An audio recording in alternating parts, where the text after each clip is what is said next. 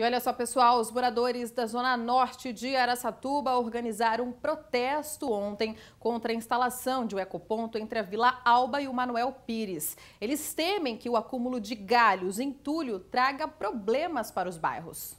O ecoponto já está quase pronto e faz parte de um projeto da prefeitura para descentralizar o depósito de galhos e restos de construção. O protesto começou na frente da Câmara e foi organizado por moradores.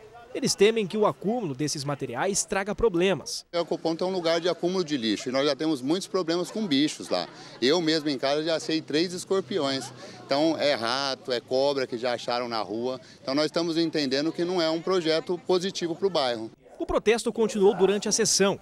Para os moradores, o local escolhido para o ecoponto não é o ideal. A gente até acredita que sim, que é um projeto bom, só que a localidade ali não, tem nada a ver com o ecoponto. Nós temos um campo que é uma área de lazer, ali poderia ser usado aquela parte de baixo para fazer uma quadra de vôlei de areia, alguma coisa que ajudasse os jovens. Então a gente precisa, eles precisam explicar o projeto para a gente. Ninguém fez uma reunião, foram lá e colocaram o ecoponto e não foi isso que foi prometido em campanha. Bom, nós entramos em contato com a prefeitura, mas ainda não tivemos resposta.